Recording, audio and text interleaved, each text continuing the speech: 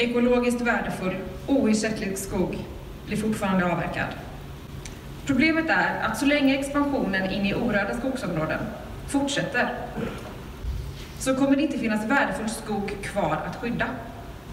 Vi kan inte ge formellt skydd till ett sargat, fragmenterat skogslandskap där små fläckar av riktig skog försöker överleva i ett hav av trädplantage.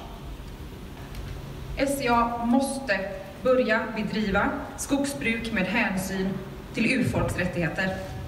Samernas mänskliga rättigheter är inte en förhandlingsfråga.